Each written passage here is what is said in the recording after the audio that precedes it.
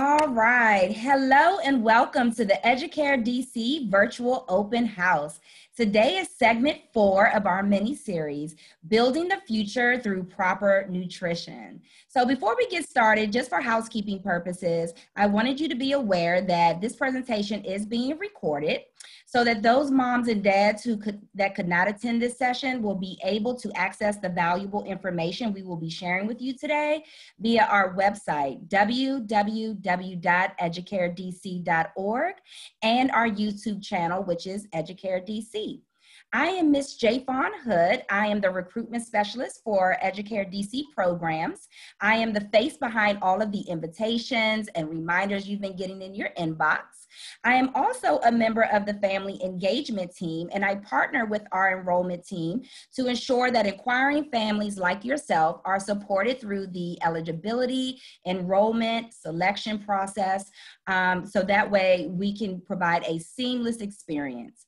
We are so happy to have you with us today, and I'm gonna tell you why.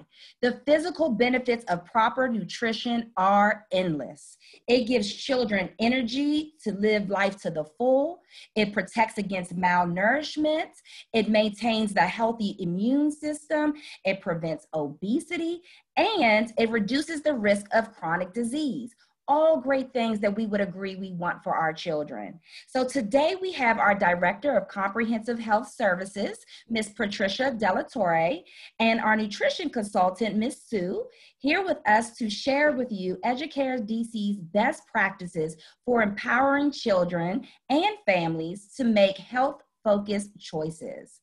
It is our intention to honor everyone's schedule and stick to the time allotted. But more importantly, we want to provide you with helpful information that you can utilize and you can also take back and share with your network of family and friends. So, with that being said, I'm going to kindly ask that you add your questions to the chat box because we're going to make some time for a question and answer segment at the end.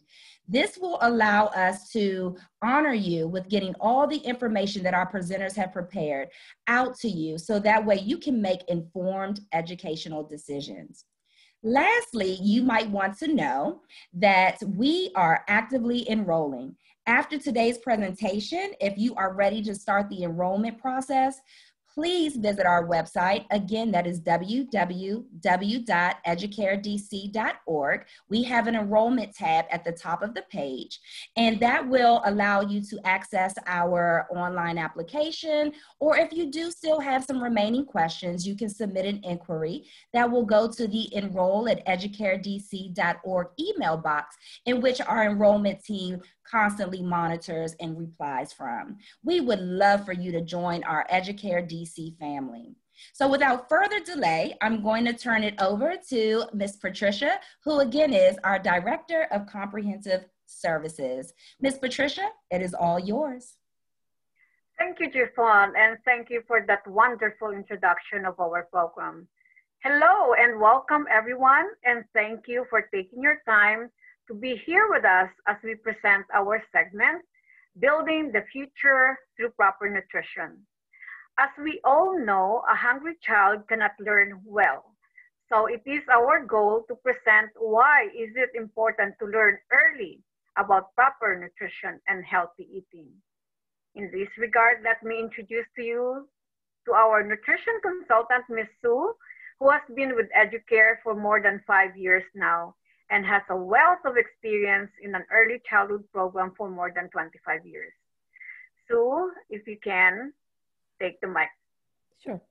Uh, good afternoon. Thank you, Patricia. Good afternoon. Uh, uh, it's a pleasure for me to be here this afternoon, and thank you for being here too.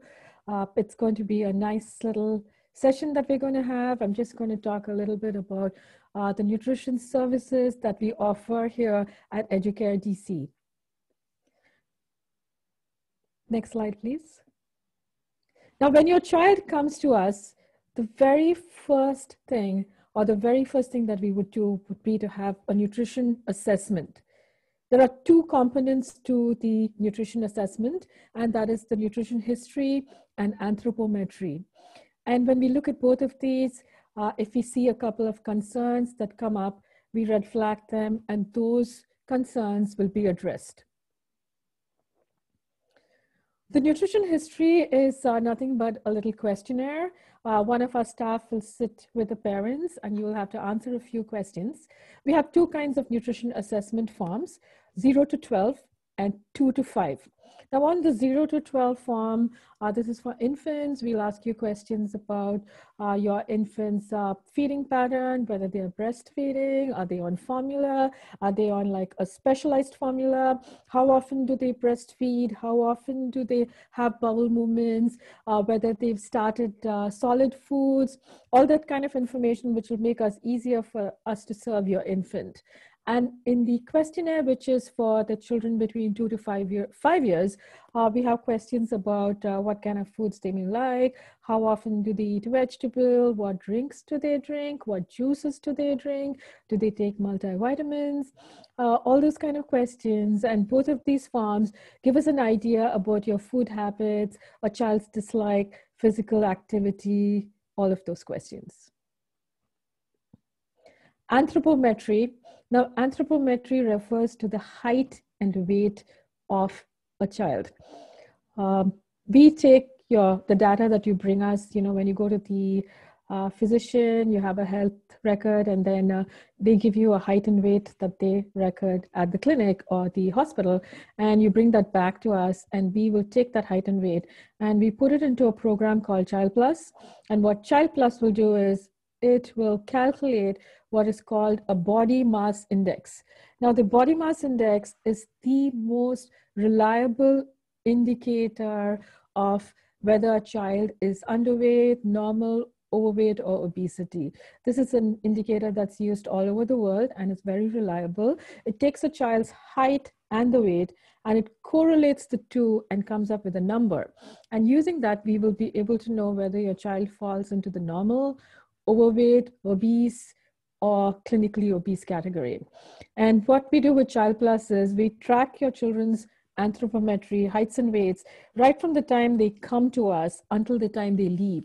So if they're here between six weeks to five years, that whole period of time, we will be tracking them and we will be offering intervention as required. Now, if we find that your child falls into the overweight or obese category, uh, we will be working with you. We will give you resources to help the child achieve a healthy body weight. At this age, uh, zero to five, diets are not recommended, as in, you know, weight loss diets are not recommended for young children, but it's more like, uh, you know, having some dietary modifications, uh, some physical activity, and the family working together towards eating healthier and helping the child to achieve a healthier, healthier body weight. And follow up, of course, will be provided. This is just one of the resources that uh, we give to our families and i just we just wanted to share this with you. Like this is a kids activity pyramid and as you can see from the screen at the bottom of the pyramid there are all these um, uh, easy activities that a child can do like you know just dance to music go running up and down the stairs uh, help out with chores. And then there's family play, which is good, you know, going out as a family and cycling, uh, taking a hike, trekking, all those simple, easy things. And then there's group play, which again is very important because group play helps a child to be active along with the group. And here at Educare DC, we provide a lot of opportunity for group play. Uh, we have this huge um, multi-purpose room in the middle of the center, uh, blank room with, uh, you know, they have some hula hoops, they have some other little uh, things that children could use to play. And even if they don't use that, there's a lot of room for them to just run up and down and expend all that energy. So on days when um, we have bad weather, you will see our children in there having group play. And right at the top of the pyramid, uh, you can see those activities that we want to limit uh, screen time, television time, and encourage more of the activities at the bottom of the pyramid. Now, the recommendation is that students should do 60 minutes, an hour or more of physical activity daily. But in reality, uh, many students are not getting an opportunity to be active. Over half the schools, only about 10% of the schools uh, have children who actually walk from home to school. You know, that's an activity which we used to do growing up, and that was exercise too. Um, and only about 45% to 55% actually have opportunities for the child to be active at school. Again, only about 4% actually have physical education as part of their everyday routine. But at Educare DC, we place a lot of emphasis on physical activity, both in the classroom, out in the playground, and in the multi-purpose room when you know the weather is bad outside. This is a healthy eating plate, and this is a resource that we would share with our families. Uh, this is what we mirror at Educare DC, uh, healthy oils uh, that you cook with, and then, you know, lots of vegetables, which give you fiber, fruit, uh, water, eating whole grains, and a nice portion of uh, protein to fill up the rest of your plate. Here you see a little picture representation of a plate, all those nice healthy whole grains on one side, uh, fruit and vegetables on the other, a variety of different kinds of fruits and vegetables, some um, healthy, wholesome protein, some dairy, and of course, a little bit of the sweet treats that I guess everybody needs. This again is just a picture representation, something that we share with our children and with our families to just kind of show how junk food can fill up your heart or it could be the healthy fruits and vegetables. Here again is another resource that we like to use in our classrooms and which we like to give us to parents as well. Uh, here we used a super figure, like, you know, children love super, uh, what do you call them, superheroes, right? They love superheroes. So here we have a little superhero. And using the superhero concept, we introduce all these superfoods and tell the child that eating superfoods can make you a superhero in your own little world. And, you know, just like talk to them about how, okay, if you drink a lot of milk, you can build nice, strong muscles and you can get nice, strong bones. And again, if you eat some salmon, you can get good brains eat some baked potato and some tomatoes and you'll have a healthy beating heart. So these are some resources that we share in our classroom and we like our parents to also carry that same concept of a superhero eating superfoods at home. Nutrition history is important, and one of the reasons we gather this data is because uh, we would like to know what's, you know, what the habits of the child are at home. So if we see anything that we could correct, we would like to do that. And uh, two years back, when we did an evaluation of all the nutrition histories that we had collected, we found that 70% of the children under five were actually consuming sugary drinks like soft drinks. And they were also having sugary juices three to five times a week. Now, that is a lot because the American Academy of Pediatrics uh, recommends that you have uh, 100% juice only once a day, about eight ounces, and items like soft drinks and sugary drinks uh, should be limited to maybe once or twice a month for a rare occasion. Uh, so when we found this out, what we did was uh, we created a handout. Uh, next slide, please. We created a personalized handout for our families uh, which would give anyone reading it an idea of how much sugar is in all of those drinks that we drink. If you look at the water, there's like zero grams of sugar. And if you look at the can of Coke, there's 35 grams of sugar. Now, one teaspoon of sugar is about four to five grams. So 35 grams of sugar is seven teaspoons. Can you imagine that small bottle of Coke having seven grams of just pure white sugar in it. So those are the kind of details we included on this um, uh, resource guide. And then we gave, uh, we put in a couple of choices for the parents, you know, like uh, they can drink juice, they can have milk instead, they can have water instead. Uh, so we used information from our nutrition assessment to create resources that would help our families. Now, some other nutrition concerns.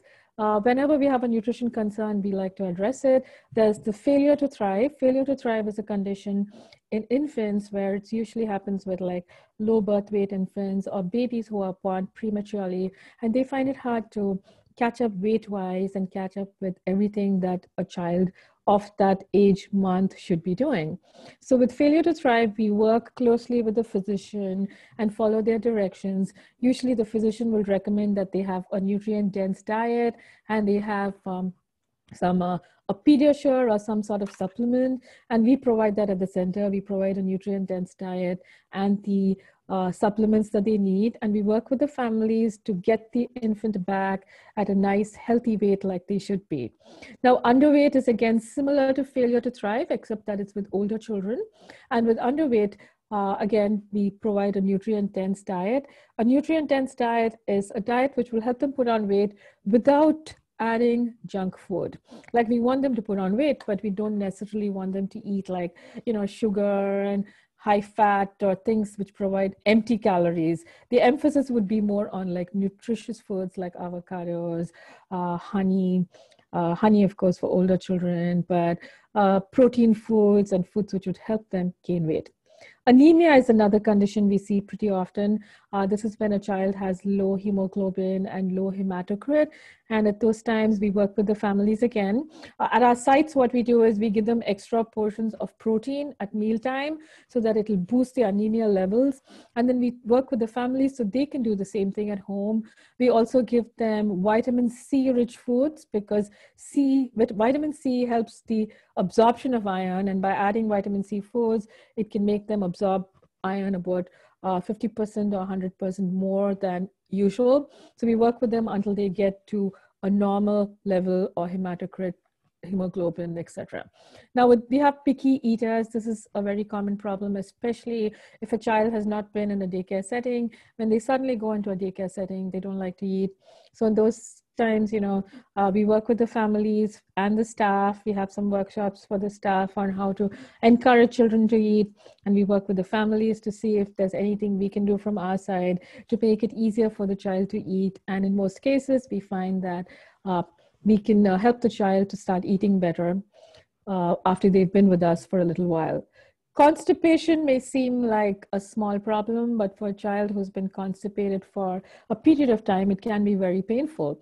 So, here again, we provide high fiber foods and a lot of fluid at the site, and we work with the family to, to make sure they're doing the same thing at home and uh, help them, you know, with natural foods, are not necessarily laxatives unless the doctor recommends, but using natural foods to help relieve constipation.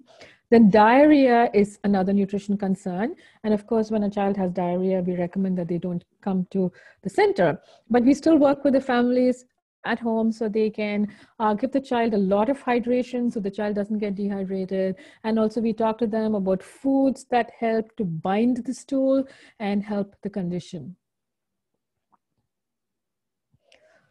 Another nutrition concern is food allergies, and food allergies is something that we take very seriously because some food allergies can be life threatening. And so we make sure and take all the precautions that we need to make sure that a child is not exposed to those foods that they are allergic to and make sure that they have the right substitutions to overcome those allergies. There are the big eight, which are the common ones uh, eggs, milk, fish, wheat, shellfish, uh, tree nuts, peanuts, soy, and anything apart from the big A2, we take care of it and uh, uh, uh treat it as a high priority uh, nutrition concern.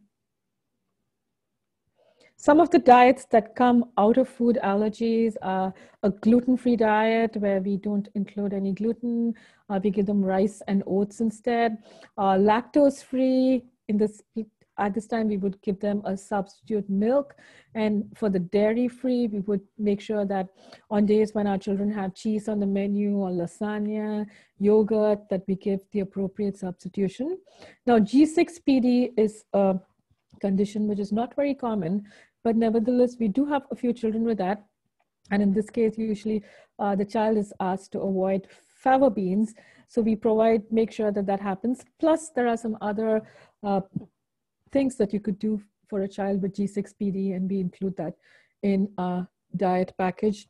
And any other nutrition concern that comes to us from the physicians, uh, we look after it and take care of it. Now, these are just some of the resources uh, that we've created to help our families. We have this one on anemia, which talks about what anemia is what you should do if your child is anemic. And we talk about foods high in iron. We also talk about tips to help with absorption of iron, vitamin C foods. And then with the G6PD deficiency, there's not a whole lot of nutrition information out there. Usually the doctor will just tell you to avoid fava beans. But there are other things that can be done. Research has shown that our children with G6PD if they can get their vitamins out of whole fruits and vegetables, those are absorbed better rather than getting it from a supplement. So those are things that we would include on this resource guide. Okay, now for nutrition concerns, when a child comes to us with a nutrition concern, we, we bring out what is called a personalized nutrition plan just for that child.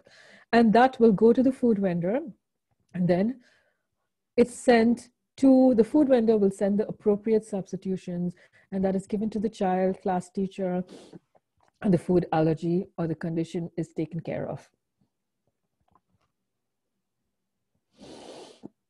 Nutritious meals. Now the CACFP and um, the guidance that we have uh, mandates that every meal should provide at least one third of the RDA for that day, required daily allowance. Now we have put all of our meals into a software system, which allows us to calculate the calories, protein, and all the nutrients. And what we've seen is that our meals provide more than one third of the required daily allowance.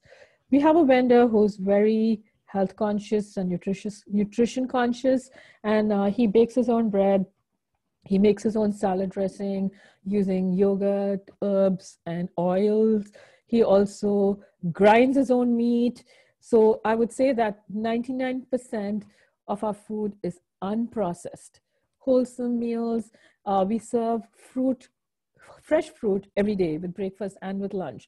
During the summer, they have kiwis, strawberries, berries, pineapple, peaches, all of those fruits that you have in season. And during the winter, we would have the more, uh, you know, the citrus fruits, the oranges, the pomelos, the uh, melons, the bananas, the apples, but fresh fruit every single day.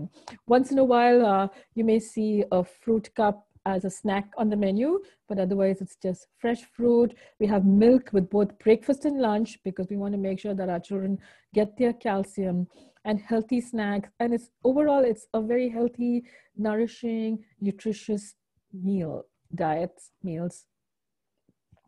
Our facility is also a nut-free facility. Uh, we don't allow peanuts or nuts of any kind. Even staff are not allowed to bring it into the facility. Vegetarian meals and vegan meals. Now, what happens if you have a child who's a vegetarian or a vegan? You can just send them on to us because we give them healthy, nutritious vegetarian meals, not just vegetables.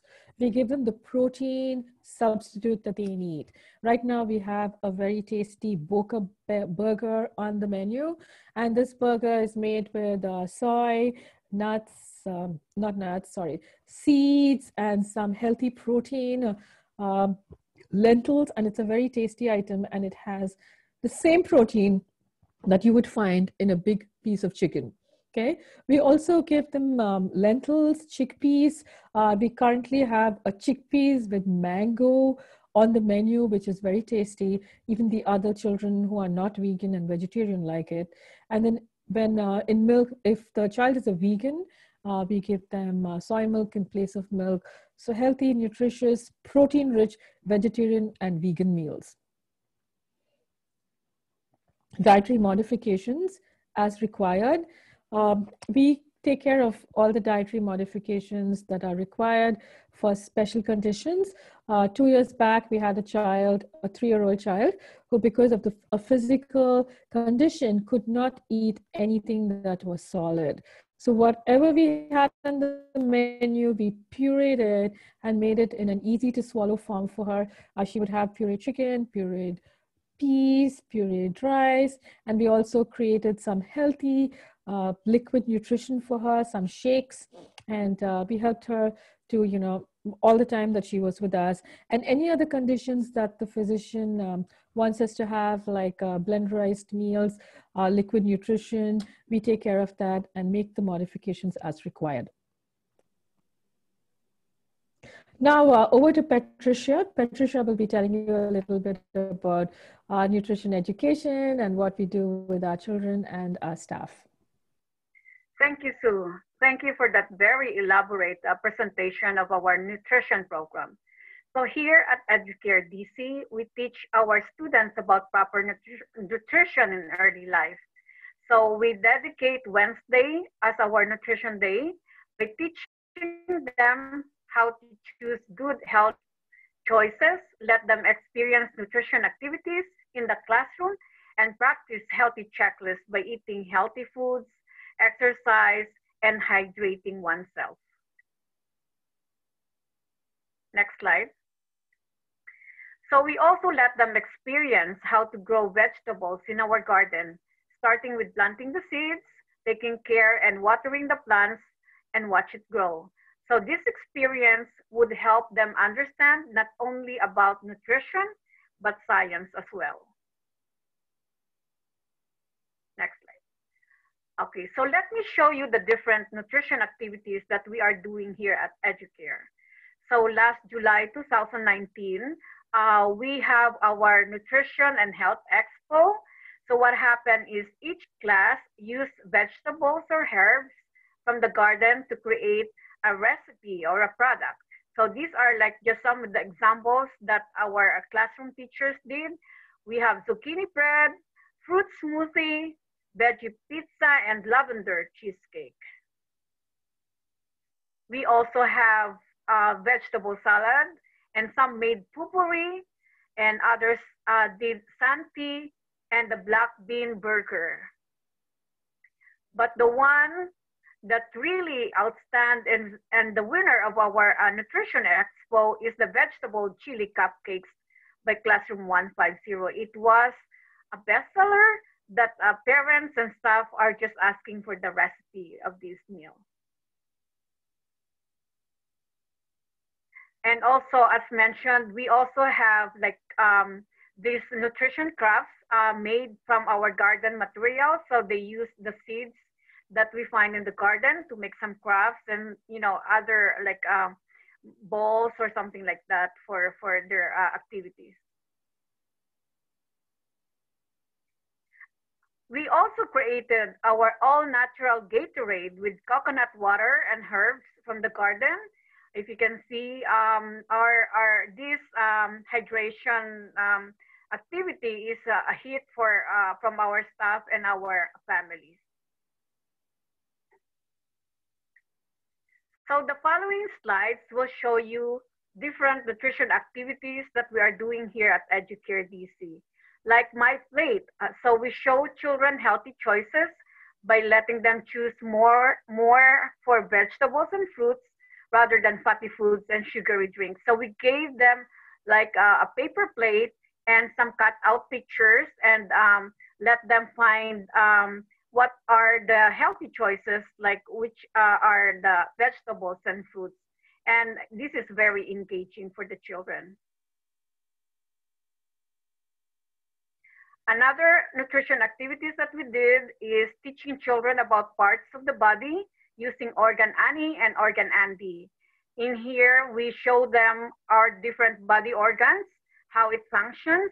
Like, for example, when a child drinks milk, it will go to their stomach and then how that milk will make their bones and teeth strong. Another nutrition activities uh, here was spearheaded by the teacher in classroom 150 by making vegetable noodles. So she uh, asked the help of the children to help her make this meal. And we all know that if the children participate in making a meal, it is very unlikely that they will also eat the food. Another one during our nutrition day is like letting kids make their own parfait using different kinds of fruits together with yogurt. And this one is about gun fishing snack. We use whole grain goldfish and um, this nutrition activities does not only uh, limit into um, uh, teaching the kids about nutrition, but also about uh, enhancing their math skills and also like uh, identifying different kinds of shapes and colors. This activity that they have is like the fruit kebabs, where kids put different kinds of fruits in the skewer and they really like this one. Um, they kind of like eat everything in the, the skewers after making their kebabs. So as we all know, we cannot help others unless we help ourselves. So here at Educare DC, we dedicate a Wellness Wednesday where staff gather and partake healthy meals with one another. This also helps improves our positive engagement with one another uh, in this picture, we made cran water and healthy Gatorade for our hydration event. And I think after this, we did have our walk around the park. Another um, activity that we did is like uh, um, a year ago on this date, we uh, celebrate Heart Health Month by doing dark chocolate fondue and berry smoothies, um, which uh, the staff also love.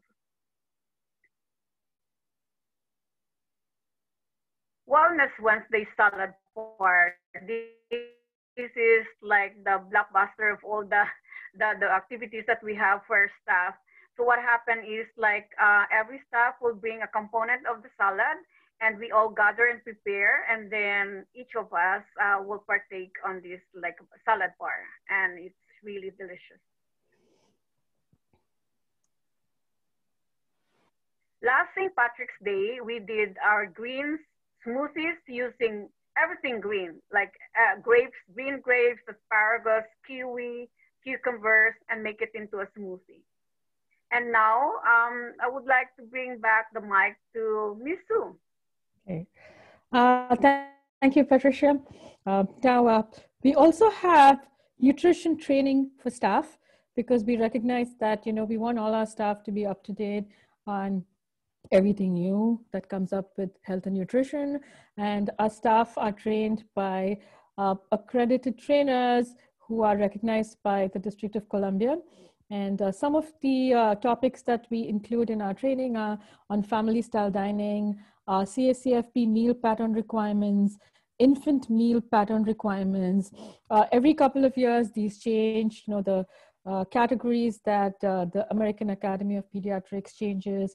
Uh, like before, they used to have babies into three groups zero to three, uh, three to seven, and seven to 12. And then two years back, they just divided them up into two categories of zero to five and five to 12, and said that babies under zero to 12 should have sol- only milk and not have solid foods. So uh, there are things like that which we need to update our staff with. So we include them into the training food allergy awareness, civil rights and CACFP, nutrition and physical activity. This is a workshop which helps us to come up with uh, creative ideas for the children and for the staff to keep physically active even during bad weather or cold weather times. Reading food labels, very important preventing obesity in a childcare setting, and nutrition education for preschoolers. We keep adding to this list of training, but we make sure that all of our staff are trained and up to date with everything health and nutrition. Nutrition workshops for families. Uh, this is something that we provide for families, and um, uh, we have live food demonstrations. And apart from that, we have workshops uh, like healthy snacking for toddlers, uh, reading food labels, again, very important because all of our parents should be informed on what's in what they buy and have some tips on how to quickly read the food label and decide what's good for them. Thrifty shopping, getting the most bang for your buck, knowing how to go into a grocery store and make use of all those sales and make use of buying in bulk and saving a couple of dollars here and there. Uh, infant feeding, very important. Transitioning to solid foods. Kids in the kitchen, where we encourage children to play and to work with their parents in the kitchen and uh, with the idea that a child will always eat what they make natural remedies for constipation a workshop we give for families too hydration and if parents come up with other topics that they would like to be trained on uh, we create workshops and have workshops for families uh, another resource for families is produce bag thursdays uh, we we partnered with this uh, group called market share and every thursday they bring us a big bag of fresh produce. There's a lot of produce in there. It's like uh, probably about $40 or $50 worth of produce in there, which is enough to feed a family of four or three for a week. And uh, they only charge $7 for this bag. So every Thursday, you'll see these grocery bags lined up inside Educare, and our parents will pay $7 for what is worth uh, $50 and take it home to make good uh, fresh fruit and vegetable preparations. Any resource that is helpful, uh, we make flyers and pass it out to the community and to our families. So currently we have a program where all of our children who are not coming to the site receive virtual meals. So once a week they come in and they get their meals for the week and they just have to take it home. And apart from that, we found another uh, food resource uh, recently where uh, they gave us free hot meals every day. And this is happening in just the school next to Educare DC. So we sent the information out to our families so they can take part in it. So any parent who goes there gets hot meals, not only for their child, one child, but for any children they may have under age 18. So this is just to show you some examples of how any resources that we find we share with our families. Another nutrition resource for families and staff is the Food Safety Manager Certification. Especially now with COVID, a lot of people are losing jobs, which is very sad. So uh, we have started this where, actually we started this a few years back, where we train our staff and families, parents, anyone who wants to get certified as a food safety manager to increase job scope and employment opportunities. Now, if you go out this kind of a certification would cost about $200, but here at Educare DC, we sponsor the training and we provide it free to our parents. Family style dining is a very pleasant sort of a dining uh, atmosphere which we practice at our sites, or at least used to practice in us at our sites uh, pre-COVID. Uh, here, all of the children will sit around the table with the teachers. They pass platters around. Uh, they pass the food around, have pleasant conversation, and this increases their table etiquette, helps them to develop more social skills, and they also learn about the food that they eat. But now with COVID, uh, we have been following the CDC guidelines, which include physical distancing, and we have a modified family style dining. And I just want to share a few slides of what that will entail if your child comes to us. We have a training for the staff, which is called meal service during a pandemic.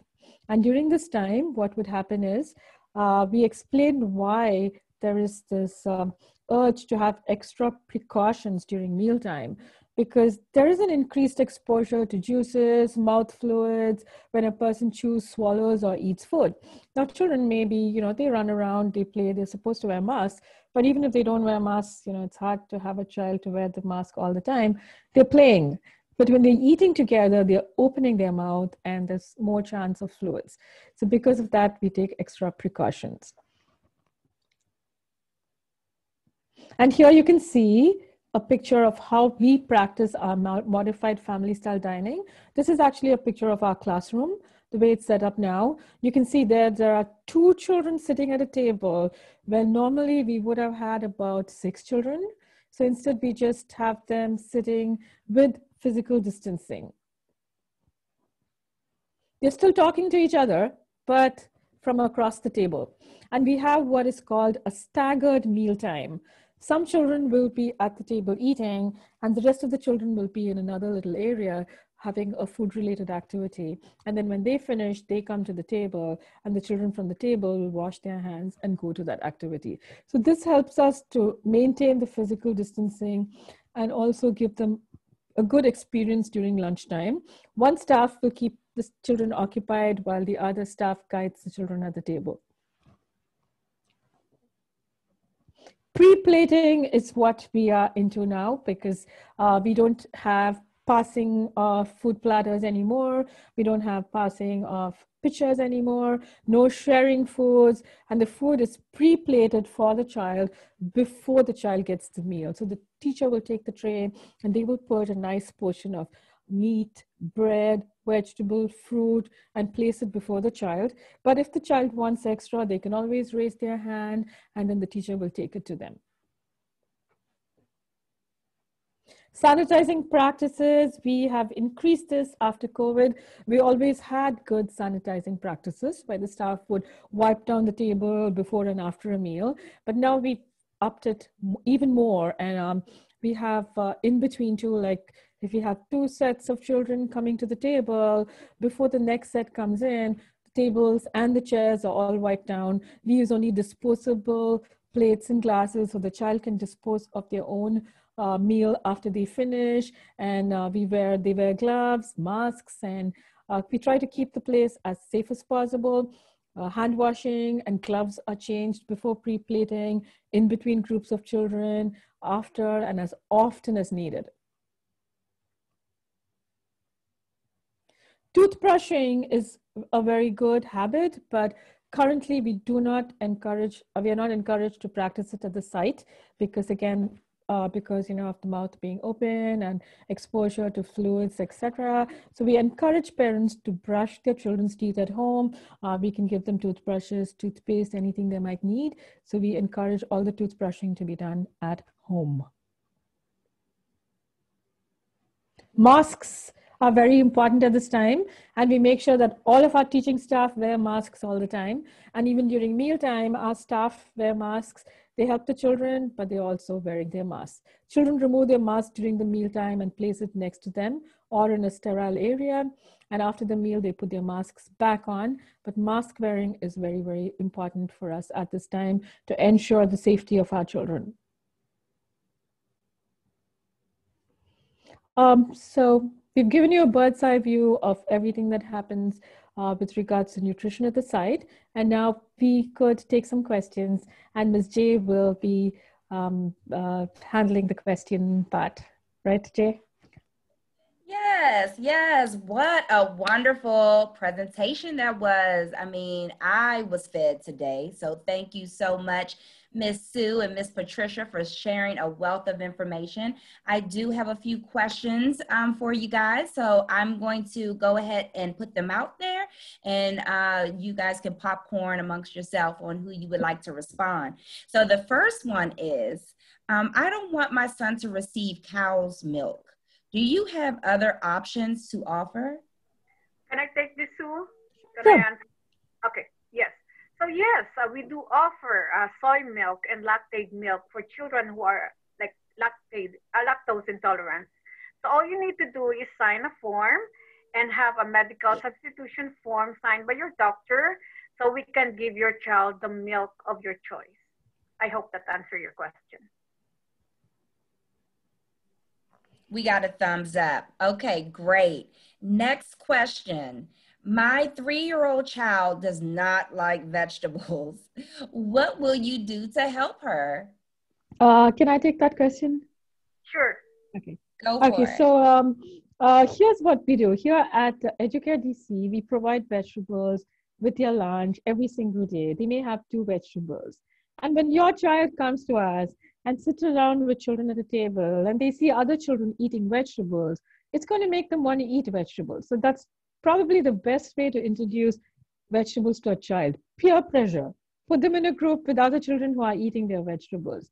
And the vegetables that we serve to our children here at Educare DC are very tasty. If it's not good, we take it off the menu and we reinvent the recipe to make it into something that the children love. So send your children to us, and I think we can guarantee that after a week or two, they'll be eating vegetables and asking for them at home too. That's great. We know that vegetables are so important. They're superfoods. Remember that superhero? So we're, we're going to support you in making sure that they get the, the vittles that they need.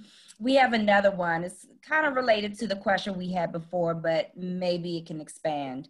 My son is allergic to dairy and could have severe reactions if exposed. What steps would you would you take to have him stay safe? Um, can I answer that question? Okay. Uh, okay, so here's the thing. We understand how, you know, food allergies are so important. So first of all, we make sure there's no cross-contamination. We have pitchers that are for milk and for soy milk. And we do not use the same pitcher for both the milks because we do not want any milk proteins to get mixed up with the soy protein by mistake. And then again, it depends on the severity of the milk allergy. Some children are so allergic to milk that even the smell of it, or even if they touch it, they could break out into a reaction. So for those kind of children, we would have them sitting at a separate little table, segregated, only during mealtime. Other times, you know, they're going to socialize with the other children, but we want to make sure that they don't even touch the milk. Now, for children who are not as severely affected by milk protein, we would have them sit at the table, but make sure that they have the right substitution. We have a list of children with a milk allergy in the classroom and in the kitchen, and we would keep checking on them to make sure that they only eat what's given to them and that they are not exposed to milk or milk protein in any way. I hope that answers your question. We got a thumbs up. Very good. Okay, next question. My child is five months old. What is your plan to transition her to solid foods? So can you answer that's your expertise? Pardon? Okay, sure. Answer, uh, yeah. I'm happy to. Okay, now uh, we follow the guidelines set out by the American Academy of Pediatrics. And about three years or two years back, uh, they said they recommended that you start solid foods when a child turns five. Okay, because they said that under five months, the child should only be drinking formula or breast milk because they need the nutrition from milk, formula and breast milk. So we start transitioning a food to solid foods, uh, transitioning a child to solid foods only at five months old.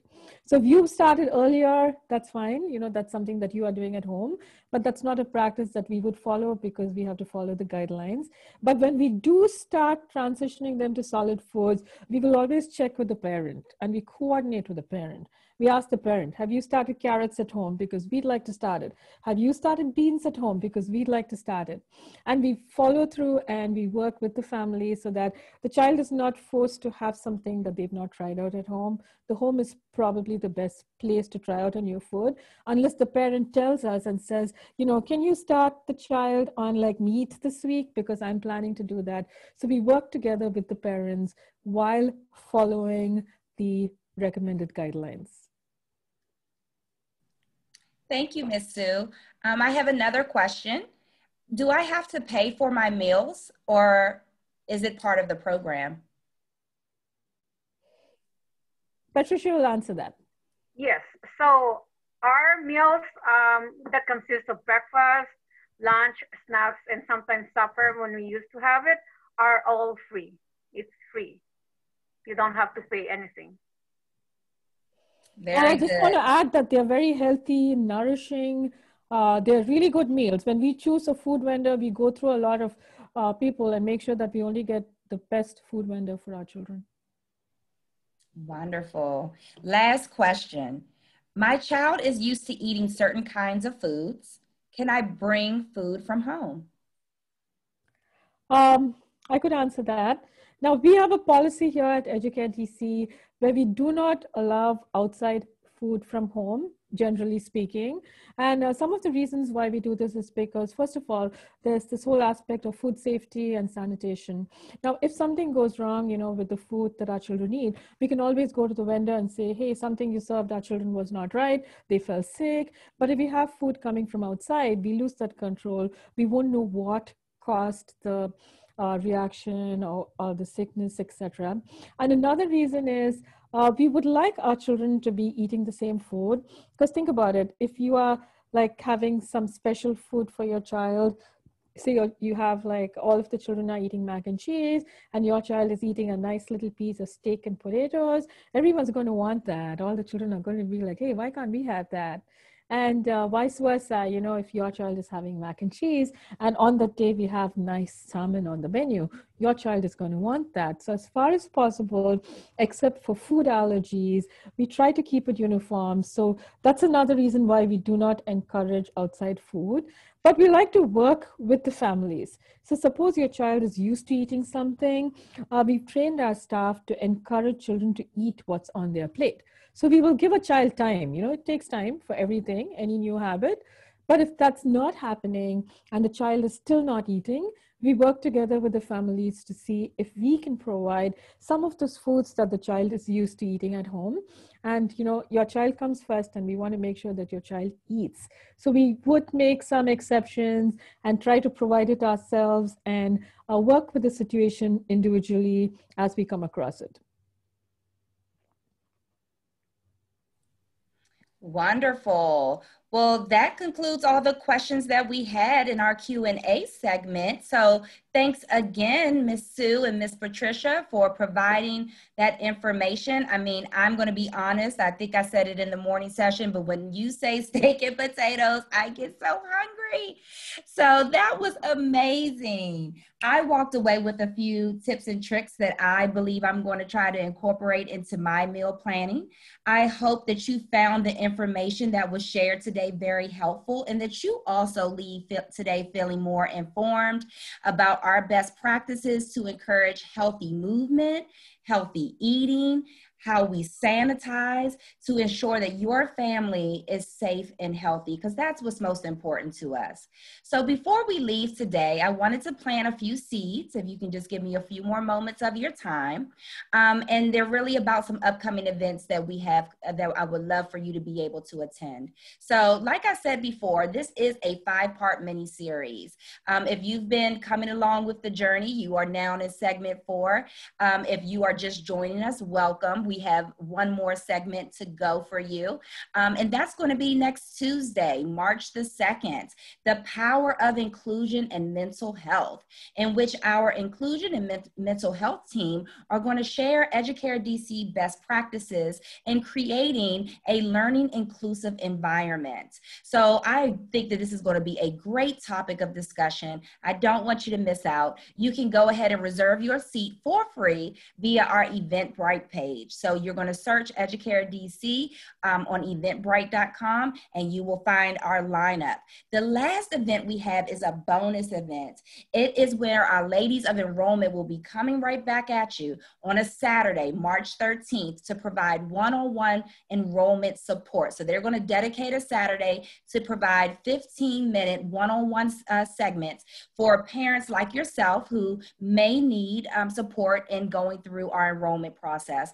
We we want to make it as easy, as supportive, and as stress free as possible. So they will be assisting you with how to complete your application, um, making sure that you have your proper documentation. And if you are needing of support of locating some documents or retrieving it from an agency, we will provide that support as well and guidance.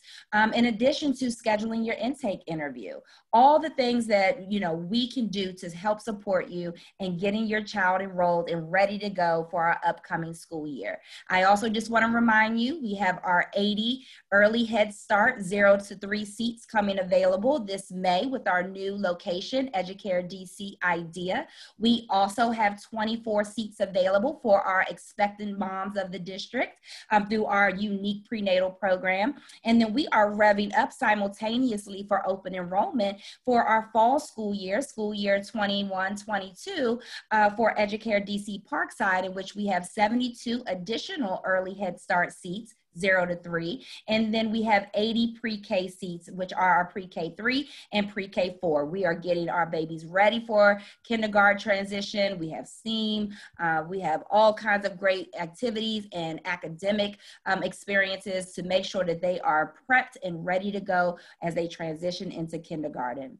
So the next event is going to be our town hall session, which is an edu- get to know Educare DC info session. It is going to be held on Thursday, March the 11th, um, and it's going to answer all of those questions evolving and revolving around our new location coming in May, um, Educare DC IDEA. So as far as the exact start date, you hear me saying May a lot, but by um, March the 11th, we're going to be providing you with our opening date.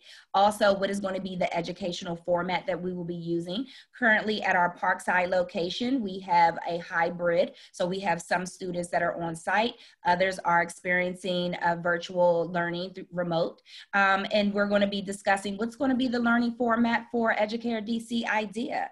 Uh, so there's going to be a plethora of answers that we'll be able to provide and information about our new location if you are interested in applying. So please do me a favor, send an email to enroll at educaredc.org. Again, that's enroll at educaredc.org.